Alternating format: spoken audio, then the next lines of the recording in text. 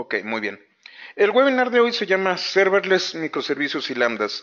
Eh, es un tema que está poniéndose muy de moda y es un poquito eh, desconocido. Eh, todo el mundo habla de esto, de microservicios, de lambdas, de serverless, pero es una concepción que es bastante vieja, estamos hablando de los años 30 del siglo XX, basada en la programación funcional. Es todo un concepto que habla precisamente de servicios que son autocontenidos y autogestionables, y que además eh, son robustos por sí mismos. ¿A qué me estoy refiriendo? Vamos a empezar.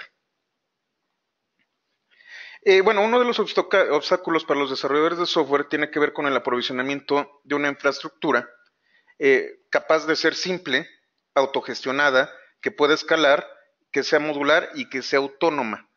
Nosotros, cuando estamos dentro del rol de desarrollador, no nos interesa demasiado la infraestructura o si el servidor está en MySQL o si eh, necesitamos cierto tipo de procesador y memoria y almacenamiento. Lo que necesitamos es generar una aplicación que se conecte a la base de datos, cualquiera que ella sea, con mi arquitectura de datos y yo puedo interactuar de manera rápida a través de pequeños, eh, de pequeñas conexiones con las que yo desarrollo mi trabajo. Mi trabajo no es configurar la base de datos, mi trabajo no es levantar el servidor, mi trabajo es generar código y generar información o modificar información a través de este código.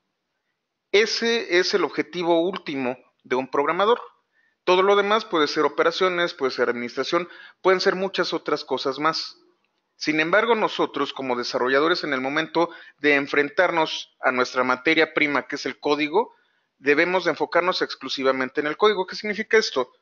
Que yo no me quiero eh, meter en los temas de administración de servidores, que yo no quiero ser sysadmin, no me pagan por ser sysadmin, pero me interesa que tan pronto como esté lista mi aplicación, yo pueda hacer las pruebas necesarias, integrar, entregar y poner al alcance de mi cliente. De eso se trata esto. Y bueno, se ha desarrollado actualmente un concepto muy interesante que es precisamente el de serverless. Eh, antes de hablar de serverless vamos a hablar de algunas otras cosas y vamos a hablar de algunos conceptos relacionados que son idempotencia, encapsulamiento y desacoplamiento. Si ustedes tienen experiencia como programadores o han leído algo de literatura respecto a mejores prácticas eh, o a paradigmas de programación, seguramente han de haber escuchado de estos términos, pero vamos a hablar de ellos. Idempotencia. Idempotencia es un concepto que significa que ustedes a través de una serie de acciones van a tener un resultado. Y si estas acciones las vuelven, las vuelven a realizar, van a obtener exactamente el mismo resultado. Idempotencia significa que si tú ejecutas algo, siempre, sin ningún tipo de variación, va a tener el mismo resultado. Si nosotros estamos hablando a nivel de industria, nosotros tenemos un molde en donde nosotros vertimos un líquido que se va a enfriar, se va a volver sólido, y tenemos un molde que siempre va a darnos el mismo resultado. Esa es idempotencia. Idempotencia es yo puedo ejecutar algo, no me importa si es un servidor, si son dos servidores, si es una infraestructura en nube, si es una infraestructura virtual o física, pero el resultado siempre va a ser el mismo. La idempotencia es aventar un barco eh, de papel y este barco de papel siempre va a llegar al mismo destino. Tenemos encapsulamiento, que es un concepto eh, muy propio eh, de la programación orientada a objetos. Encapsulamiento, ¿qué significa? Yo tengo un objeto que obviamente fue instanciado en una clase, y este objeto tiene métodos. Los métodos dentro de un objeto realizan cierto tipo de operación y tienen un nombre y tienen una interfaz de entrada y tiene una salida. El encapsulamiento nos dice que los métodos pueden ser intercambiables, que nosotros encapsulamos esto, cerramos, aislamos el método y la entrada nos tiene que dar una salida. Nosotros podemos generar conectores a través de los métodos y podemos cambiar este componente, podemos cambiar el código dentro del método y el sistema no se cae, el sistema no cambia. El encapsulamiento es un concepto muy poderoso. Eh, normalmente se utiliza para esconder el código, pero el objetivo último del encapsulamiento es que los métodos son intercambiables. ¿Qué significa esto? A mí no me interesa lo que está en la cajita negra del código, del, método. Lo que me interesa es que realice la acción y que el resultado sea el correcto. Yo puedo cambiar el código del método sin que lo conozca el usuario u otro desarrollador y me da un resultado que es compatible, al menos en formato, con la información que yo estoy requiriendo. Si tienen dudas, eh, por favor, somos muy poquitos, eh, pregunten a través del chat y podemos trabajar sobre estas dudas. ¿Encapsulamiento quedó claro? Encapsulamiento es esta propiedad que tienen los objetos de poder cambiar su código y si están bien definidos los formatos de entrada y de salida, vamos a obtener un resultado siempre a través de este código independientemente de lo que contenga. Muy bien, vamos a continuar. Y desacoplamiento. Desacoplamiento es también un concepto de los lenguajes de programación y de las mejores prácticas. Con encapsulamiento nosotros estamos encerrando los métodos.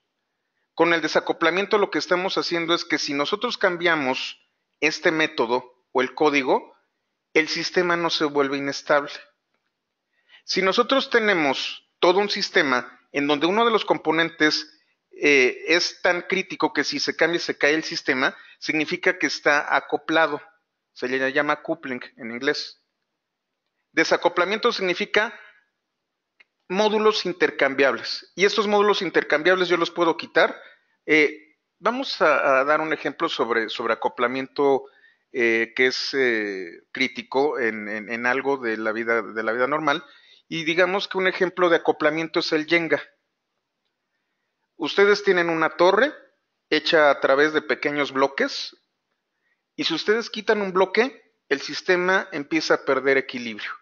Quitan otro bloque y el sistema empieza a colapsar y al quitar algún bloque, el sistema colapsa por completo. Eso es acoplamiento. El docoupling o el desacoplamiento lo que, lo que nos dice es yo quito el componente, coloco otro y el sistema no se cae. Si yo quito un componente o lo sustituyo y el sistema se cae, es que el sistema está muy acoplado, hay mucho coupling con respecto a este componente. El, desacoplamiento justamente se trata de eso, de permitir que el sistema como sistema, como una generalidad, sea lo más independiente de cada uno de sus componentes. Suena muy fácil, pero realmente no lo es. Ahora, vamos a hablar de un tema que viene de los años 30. Eh, siempre casi siempre en, mis presentaciones y en mis cursos hablo de uno de mis dos héroes personales. Eh, uno de ellos es eh, Alan Turing y el otro héroe personal que tengo es Alonso Church. Son contemporáneos, es un matemático inglés también, de que también estuvo en los años 30 hablando sobre la teoría del cómputo. No existiría el cómputo sin Alonso Church y, y sin Alan Turing. Sin embargo, Alonso Church se fue por, por, una, por una rama de la programación muy particular que no todos conocían hasta esta década eh, y que quedó en el olvido a menos de que ustedes estuvieran programando en lenguajes como Lisp. Eh, y que es la programación funcional. La programación funcional está basada en toda una teoría matemática llamada cálculo lambda. El, cálculo, lambda se se basa en funciones. Ustedes demuestran, hacen una función que demuestra cierta teoría y esta función la ejecutan y obviamente les va a dar los resultados eh, que, que ustedes están esperando. En el paradigma de programación funcional, lo que es constante son los datos. Lo que, lo que, cambia, lo que se modifica, lo que varía son las funciones. En otros paradigmas de programación, las variables los datos son los que modifican el estado de un programa. En el caso de la programación funcional, el estado que puede cambiar es el de las funciones. Y dentro de las funciones existen las que se conocen como funciones puras. Una función pura es aquella que regresa el mismo resultado si se ingresan los mismos argumentos. Recuerden idempotencia. Es una función que está autocontenida. Yo le meto datos, los procesa y la salida de este proceso siempre va a ser la misma. A esto se conoce como funciones puras, porque entra el dato, sale el dato y lo único que cambian son los datos. Ustedes los procesan, la función no guarda en base de datos, la función eh, no despliega nada, simplemente entra el dato y sale el dato. Así de simple, una pequeña línea de producción. La función pura lo que hace es trabajar con los datos y aquí es en donde tenemos que hablar de estados. Las funciones puras y la impotencia nos dice que el estado no cambia de la función. Es más, las funciones no cambian el estado del sistema. Sistema y datos están separados. Y es ahí en donde empiezan a, chocar algunas concepciones de otros paradigmas. ¿Por qué? Porque los objetos tienen estados y tienen métodos. El estado es la suma de todos los atributos en un momento específico dentro de un objeto. En el caso de las funciones, nosotros no cambiamos el estado de absolutamente nada. Si una función se ejecuta, no va a cambiar el sistema. Simple y sencillamente entran datos y salen datos. ¿Hasta aquí alguna duda con respecto a las funciones puras? Nuevamente, si tienen dudas, para eso estamos. Y estos son, son temas muy interesantes que requieren de explicación si es necesario. Las funciones puras, como les digo, no causan efectos colaterales en el sistema y procesan la información sin que las funciones cambien. Ahora vamos a hablar de lo que se conoce como una función lambda. También son, conocidas como funciones anónimas y son funciones que se, definen como si fuera una expresión. Eh, déjenme abrir una maquinita virtual.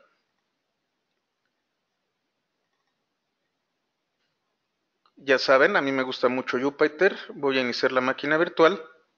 Y vamos a hablar sobre una función lambda. También se conocen como funciones anónimas. ¿Qué significa esto? Yo defino la función como si fuera una expresión. Ahorita vamos a ver el ejemplo, pero vamos a continuar con la presentación. En el caso de Amazon, de los servicios de Amazon, las lambdas tienen otro significado. Una lambda es una función que puede ser ejecutada para procesar información sin importar la fuente de dicha información, tanto de entrada o el destino de la información resultante. Si yo entro a mi consola de Amazon me voy a encontrar con muchísimas opciones, pero aquí en los servicios de cómputo tenemos S2, que son servidores virtuales. Este es para lanzar servidores eh, privados virtuales. El servicio de contenedores, que es con Docker. Tenemos las lambdas, los batch, que son, eh, que esto viene también del concepto de Big Data, que lo vamos a ver, y el Beanstalk, que son eh, aplicaciones web. En este caso, tenemos lambda. Lambda lo que nos permite es generar una función. Perdón.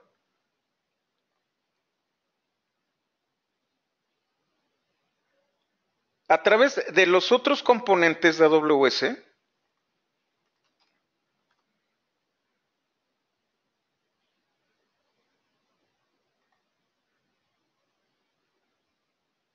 puedo conectarme con el almacenamiento, con la base de datos, con las redes, con todo esto, y únicamente utilizar este componente como una sola función para computar todo, todo el flujo de datos. Es muy sencillo, hago una función, yo sé que tengo un flujo de datos que lo puedo sacar de una base de datos, lo puedo sacar de redes sociales, lo puedo sacar de streams de video, lo que yo quiera. Y con una sola función que yo estoy definiendo, como lo que tengo aquí, voy a tener una entrada y salida y el flujo de datos es lo que yo voy a estar modificando. A las lambdas a las funciones no les interesa dónde va esta información, simplemente la procesan y la regresan. No cambia su estado.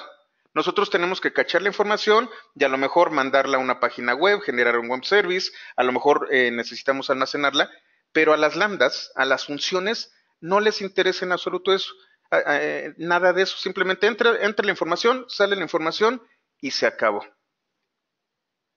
Déjenme, ya está, entonces, aquí está, creo ¿Qué es una función lambda? Esto es Python. Yo defino dos variables, por ejemplo, x y y.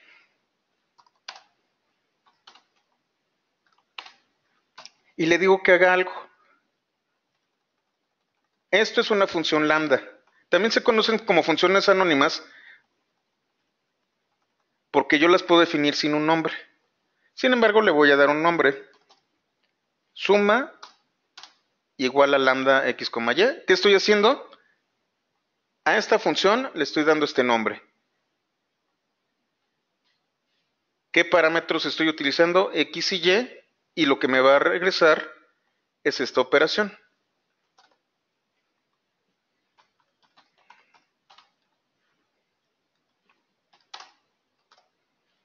Voy a hacer un poquito más grande esto.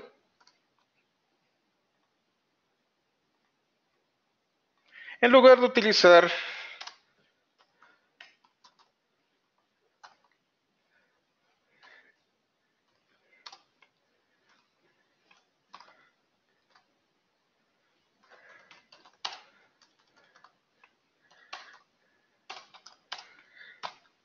esta sintaxis en donde yo tengo que darle obligatoriamente un nombre,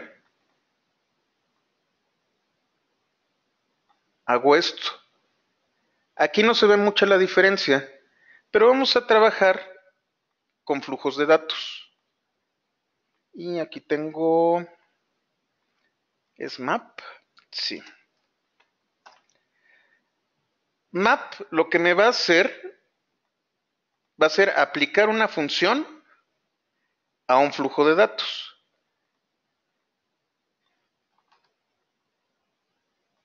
Aquí está la función.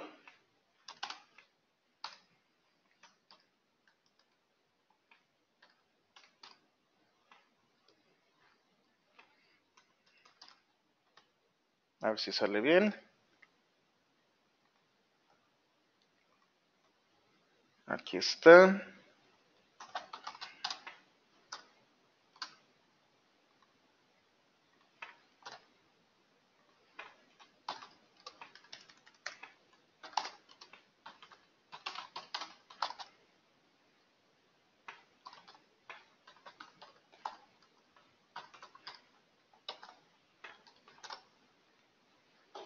Aquí es lo que, aquí yo definí una función lambda que realiza la sumatoria de x y de y.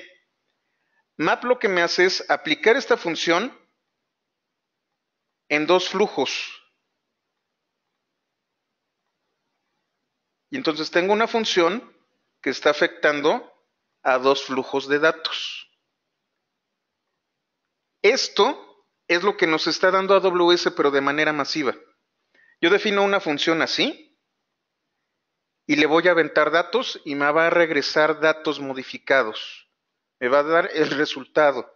Yo no tuve que hacer una definición de nombre de la función, simplemente la utilicé como si fuera una expresión. Estas son las lambdas. Cuando ustedes eh, escuchen el término lambda o funciones, es esto. Es una función que modifica datos. La función no se modifica en sí, tampoco los datos, pero da un resultado de nuevos datos.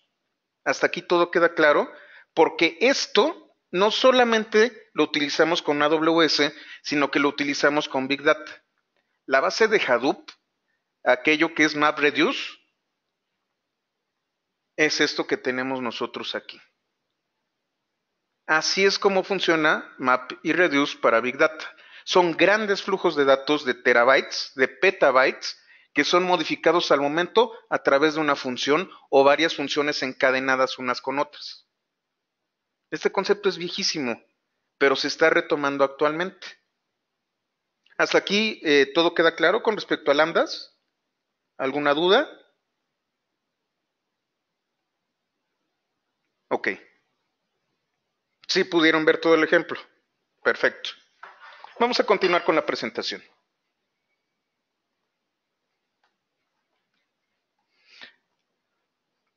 A partir de estos conceptos, y haciéndolo un poquito más eh, sofisticado, está lo que se conoce como servicio sin estado y el encolado de mensajes. ¿Alguno de ustedes ha escuchado sobre servicios sin estado o eh, Stateless Services o los famosos MQs? Ah, perfecto, muy bien. Bueno, pues vamos a hablar de ellos. ¿Qué es un servicio sin estado? Es algo muy similar a una función pura.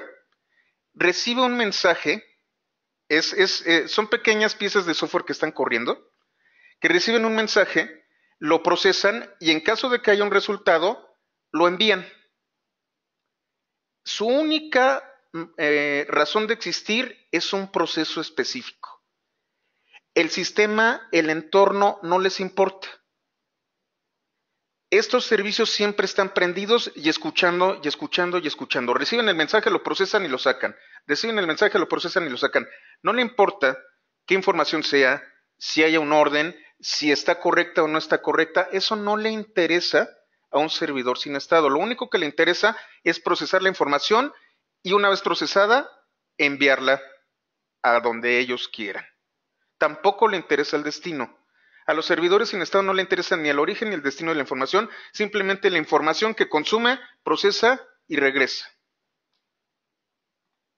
Estos servicios no dependen del estado del sistema completo, pueden recibir mensajes en un orden aleatorio, como le digo, no les interesa, y en caso de fallo, simplemente se, reinicia el servidor. Eh, me, dan mal los datos, este, eh, el sistema no puede procesarlos, se cae el servidor y se vuelve a levantar. Permite que los errores truenen. Pero la parte interesante de los servidores sin estado es que ese error únicamente va a afectar al servidor mismo y lo vuelve a levantar. El sistema no se pone inestable. Simple y sencillamente se reinicia. Aquí nosotros permitimos que los errores hagan que truene, pero como es un sistema que no tiene coupling, que está desacoplado, como es un sistema que no, eh, modifica el estado del sistema en completo, del sistema completo, me puedo dar el lujo de que una operación falle y se caiga el servidor. ¿Por qué? Porque lo vuelvo a levantar. Y aquí viene la parte interesante. Nosotros tenemos entonces un gestor de encolado de mensajes. Tenemos estas pequeñas maquinitas que procesan los datos. Pero del otro lado, yo necesito a alguien que orqueste la manera en que llega la información. Entonces tenemos los famosos MQs. Tenemos algunos ejemplos, como 0MQ,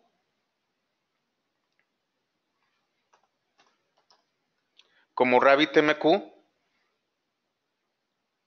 y creo que este es JavaMQ.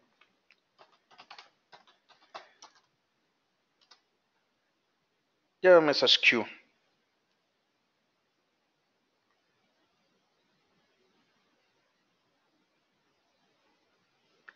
Estos sistemas, estos sistemas de encolado de mensajes nos permiten hacer eso. Ellos sí son los que se están fijando cuál es el flujo de la información. Ellos sí saben hacia dónde va la información y ellos se encargan de que la información sea correcta, sea consistente y en caso de que truene el sistema, volver a enviar la información o tomar la decisión de simple y sencillamente no hacerlo. Esto es un nuevo sistema que es bastante estable. Eh, seguramente ustedes conocen y, y han utilizado WhatsApp. WhatsApp es un sistema basado en estos conceptos.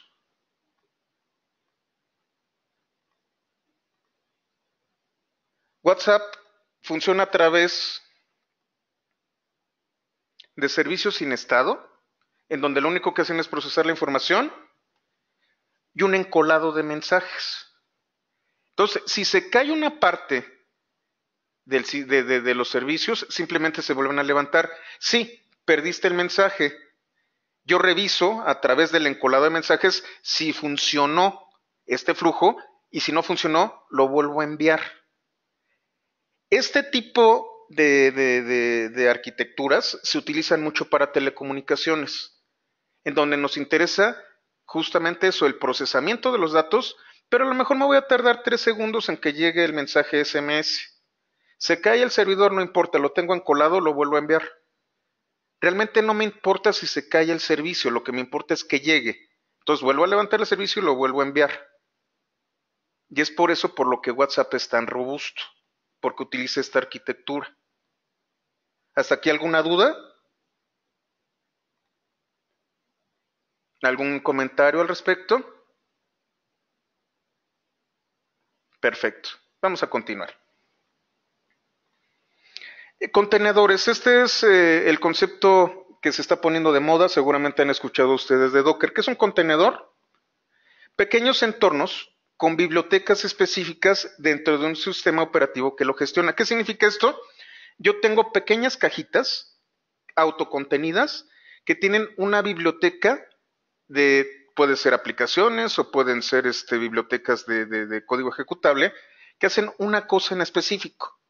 Entonces yo tengo un contenedor exclusivamente para mi servidor Apache y tengo un contenedor exclusivamente para un servicio específico, por ejemplo, de autenticación de usuarios y un contenedor específicamente hecho para gestionar la base de datos y otro para la identidad, etcétera, etcétera, etcétera, dentro de un sistema operativo completo no es un esquema de virtualización. ¿Por qué? Porque los contenedores pueden vivir en una sola máquina con un sistema operativo y yo tengo pequeñas cajitas autocontenidas que no ven a las otras, sino es a través de algún tipo de conexión. Esto es un contenedor. Permiten ejecutar, servicios aislados y de forma unitaria.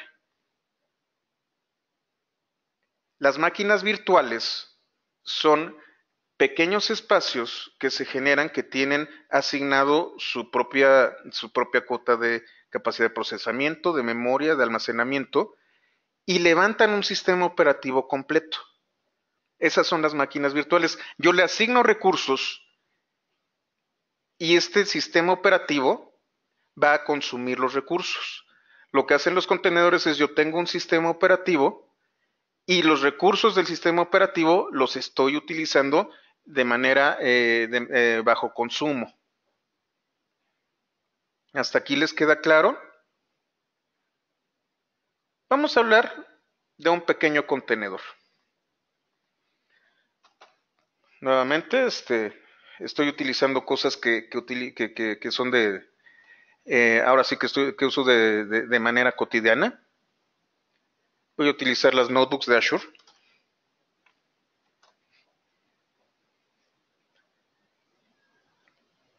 Voy a entrar como Josech.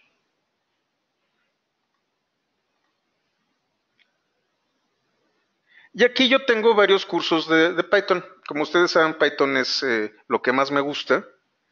Y aquí tengo pues varios, varios temas. En este caso yo tengo varios apartados. Vamos a hacer análisis Twitter. Aquí lo que yo voy a hacer es iniciar una notebook. Que se, estamos iniciando la notebook. Esto tomará solo un, un segundo. En lo que yo me logué y seleccioné, lo que está haciendo Azure es crear un contenedor. Este contenedor, déjenme cerrar este, esto. Este contenedor lo que hace es, tengo una pequeña imagen de mi servidorcito con estos contenidos. Azure lo que hace no es guardar una máquina virtual con esto, sino que en el momento la crea. Dejen regreso aquí. Y aquí dice terminal.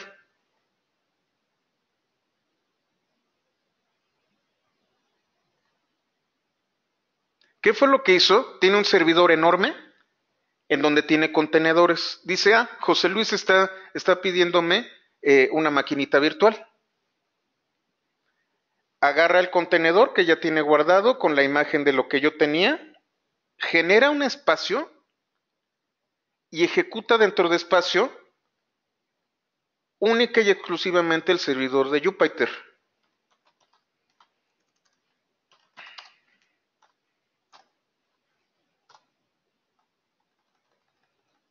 Es your name. ¿Qué tengo aquí? NB Server. Y me está diciendo que está corriendo dentro de una máquina de Linux.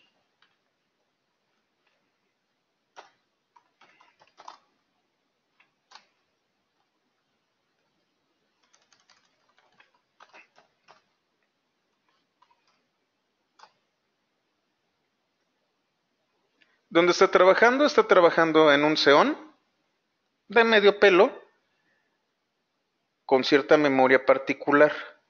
Esto que ustedes tienen aquí es uno de tantos servidores que tiene Microsoft para este tipo de cosas.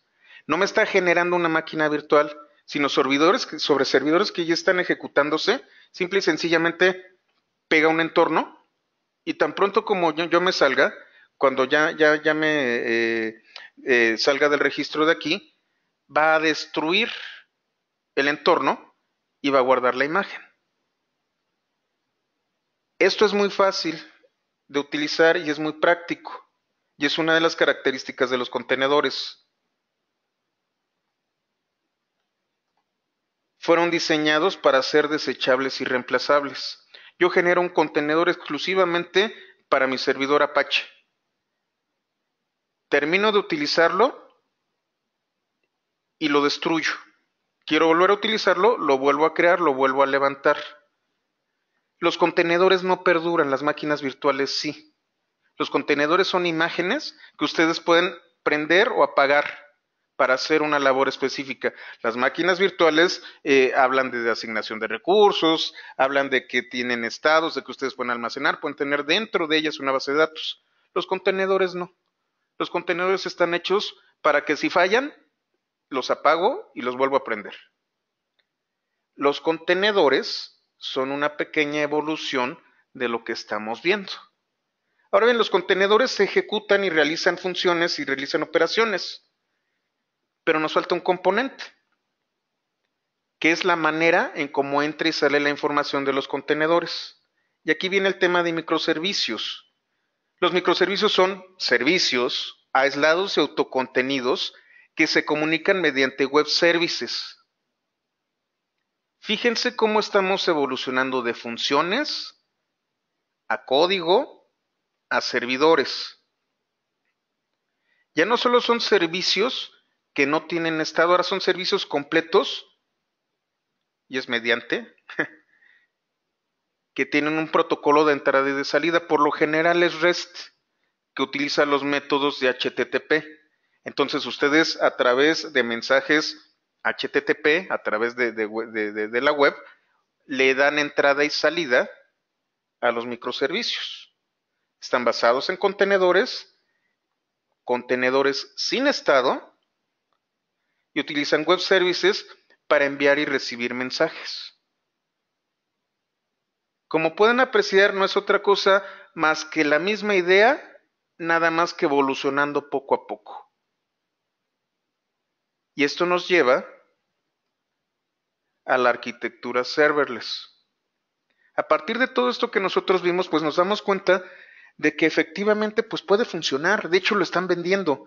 ¿Quiénes lo están vendiendo?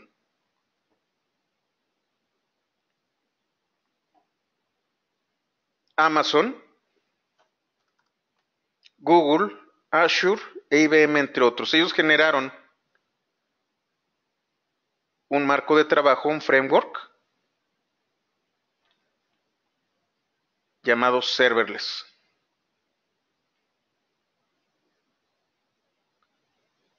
Todo esto nos permite que escale automáticamente, es independiente de tu proveedor de servicios y lo despliegas rápidamente. El concepto ha evolucionado de tal forma que los grandes proveedores de servicios de cómputo en la nube dijeron, ¿saben qué? Vamos a generar una estandarización y los contenedores, los mensajes, los web services, todo este tipo de cosas, las funciones, ahora son serverless. ¿Y qué nos tiene que garantizar serverless? ¿Dónde está? Ah, ya me estoy perdiendo.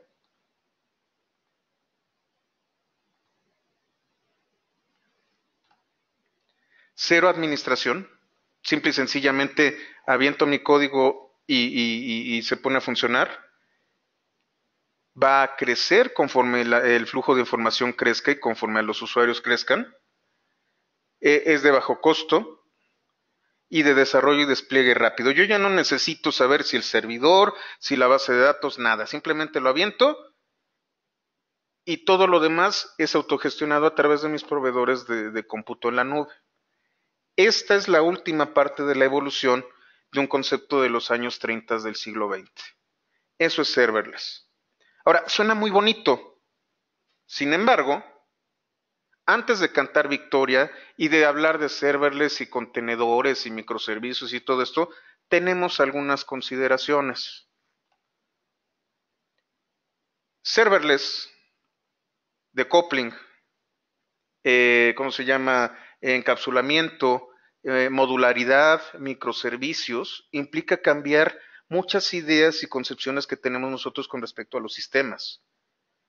Estamos hablando de que los sistemas monolíticos a los que estamos acostumbrados, en donde tenemos un servidor que contiene la base de datos y contiene el servidor web y contiene eh, el código y lo ejecuta y ahí están los binarios, etcétera, etcétera, lo voy particionando y, cada uno de ellos es un componente. Pensar de un modo de componentes dentro de un sistema general requiere de un cambio en la mentalidad del programador.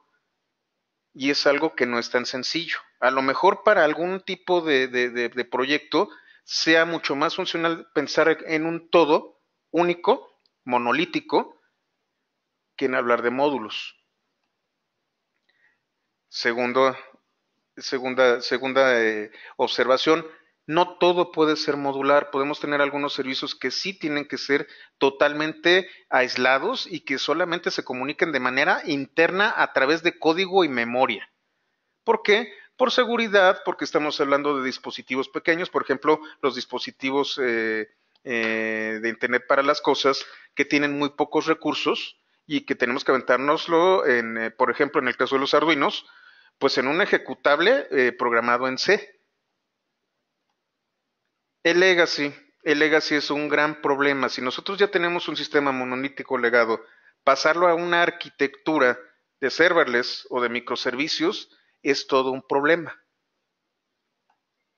Requiere de experiencia, conocimiento y tiempo dominarlo, como todo en esta vida y sobre todo con el software. Esto es muy necesario. Necesitamos saber a qué nos estamos metiendo. No todo puede ser serverless, no todo puede ser microservicios, no todo puede ser modular la experiencia y el conocimiento es la que nos va a decir si podemos o no adoptar esta arquitectura. Y entonces, bueno, una vez que nosotros hacemos todas las evaluaciones, eh, podemos optar por esto. Como ustedes ya vieron, los principales proveedores de, servicios de cómputo en la nube ya están en esto. Y es lo que están ofreciendo de muy bajo costo. Ni siquiera me tienes que decir que necesitas un servidor de tales características. Pon el código ejecútalo y tienes tantas transacciones disponibles a tal costo. Y se acabó. Pero entonces tienes que definir dónde va a estar la base de datos, tienes que definir eh, cuál es tu fuente de datos, tienes que levantar web services, tienes que levantar tus servidores, etcétera, etcétera, y generar esta estructura eh, modular. Es ahí en donde tenemos que aprender muchísimo. Como les comento, estos webinars están hechos precisamente para, para darles la idea, para hablar de conceptos. Eh, decidí que, eh, de hecho, desde el año pasado he estado con los webinars y he estado dando, dando cursos tanto presenciales como, como virtuales. Y después de este experimento he decidido que prácticamente todas las capacitaciones que voy a dar durante 2018 van a ser a través de, cursos en línea. Eh, después de este webinar, yo voy a empezar a lanzar, yo calculo que para marzo, una serie de cursos y capacitaciones basados en esto. Ya les dije que es. Durante los próximos meses les voy a decir cómo a través de cursos especializados en cada uno de los temas. Entonces esténse al pendiente porque eso es lo que vamos a estar haciendo durante un futuro muy cercano. Eh, no sé si tengan dudas, algún tipo de comentario, si quieran saber algo más, si algo no les quedó claro o si estoy diciendo puras eh, tarugadas, eh, estoy abierto a, a sus comentarios. Search, allá en la universidad, en la UTF, ¿todo bien? Bueno, pues sin más, eh, nos tardamos bastante poquito. Yo esperaba que fuera una hora, nos quedaban 10 minutos. Ah, bueno, Search. Sí, Netflix usa esta arquitectura. Estas arquitecturas para servicios de streaming eh, son, son bastante buenas o para servicios de telecomunicaciones o para WhatsApp. ¿Por qué? Porque si se te cae el stream, lo levanta de inmediato. Porque si no hay conexión, no importa. Se desconectó, lo vuelves a conectar de inmediato y el sistema no se vuelve inestable. Estas son las arquitecturas que nosotros eh, utilizamos para eso. Cuando tú haces streaming de datos, cuando haces Big Data, cuando, quieres hacer telecomunicaciones, lo que te interesa es que a pesar de que no haya internet estable, a pesar de que te cambien el, eh, el ancho de banda, a pesar de muchas cosas, el servicio se siga dando en donde te quedaste. Y es por eso por lo que Netflix, WhatsApp y todo este tipo de, empresas basan esas tecnologías precisamente en esto, en serverless y en microservicios y en contenedores y en lambdas. Eh, ¿Qué recomiendo para iniciar en estos entornos? Eh, yo estoy dando un curso de Python. Eh, a partir de ahí estoy, estoy generando mucho contenido con respecto a esto. Eh, escogí Python porque es un lenguaje de propósito general, lo pueden utilizar para cualquier cosa y es muy bueno para este tipo de actividades. Empiecen con Python. Eh, AWS, Azure y eh, Google les dan recursos gratuitos. Levántense una cuenta de AWS y empiecen a explorar lo que hay. yo voy a estar dando cursos específicamente, estoy entre dos plataformas, estoy entre AWS y Azure para que todos estos conceptos sean vistos de manera práctica a través de una aplicación específica. Entonces, si quieren empezar antes de que yo empiece, simplemente métanse uno de estos, AWS o Azure.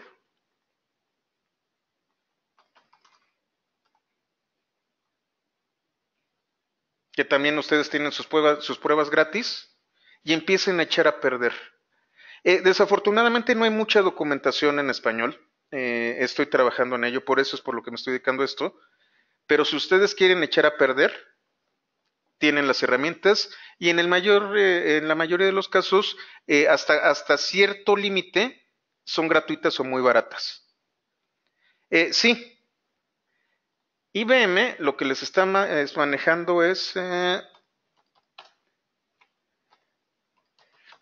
Nada más que no sé si aquí está.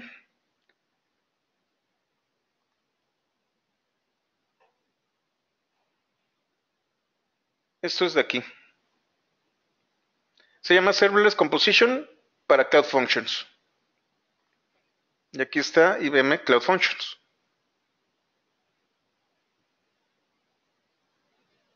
Entonces ustedes escogen al proveedor y ahí está. Eh, la seguridad es un estado mental search. Eh, lo que puedes hacer es mejorarla, eh, pero nunca va a ser perfecta. con respecto a la seguridad, siempre que haces una transacción y siempre que hay una transmisión de datos, estás, estás corriendo el riesgo de que alguien trate una de dos, o de ver los datos o de modificarlos para hacer algún tipo de acceso o penetración. lo que tienes que hacer es ser muy cuidadoso cuando defines los protocolos de, transferencia de datos. Como estamos hablando aquí ah, específicamente con temas de, máquinas sin estado, eh, de, funciones y de cosas así, es un poquito más difícil para el atacante. ¿Por qué? Porque si te rompe la máquina, se hace un buffer overflow, lo único que hace el sistema es reiniciar la máquina. Y los servicios solamente hacen una cosa, entonces, tú podrías entrar, tratar de tomar control, pero te vas a encontrar de que no tienes las bibliotecas necesarias eh, para escalar eh, un ataque o para hacer cierto tipo de, inyección de código. Tienes una máquina que solamente hace una cosa y solamente tiene los recursos para esa cosa. Eh, como son elementos unitarios y modulares, solo tendrías control al módulo. Y si te das cuenta de que está fallando el módulo, lo tiras y lo vuelves a levantar. Entonces es una gran ventaja. Como siempre, hay maneras de atacar, como siempre hay maneras de, escalar eh, los, eh, los permisos, de inyectar código, pero al ser tan unitarios, es mucho más fácil restringir las operaciones y sobre todo el acceso de las aplicaciones y de los servicios. Entonces no está tan mal, realmente no está tan mal. ¿Alguna otra duda? Perfecto. Bueno, si no, si, no tienen más dudas, eh, terminamos. Eh, se va a publicar en, en, el, en, en, YouTube, en el canal de Cloud Devil, eh, y va a estar a, su disposición este webinar. esténse al pendiente, va a haber mucha capacitación, va a haber muchos cursos, primero con streaming en vivo y después únicamente videos a través de Udemy, y a muy bajo costo. El chiste es que esto sea conocimiento de primera calidad, que inclusive no lo van a encontrar en inglés, que sea de bajo costo y accesible, porque sabemos que no estamos en jauja, y sobre todo lo más autodidacta que se pueda, de que no requieran de alguien que les esté enseñando, sino que ustedes puedan ver el curso y entenderlo perfectamente. Entonces, estén, esténse al pendientes y muchísimas gracias.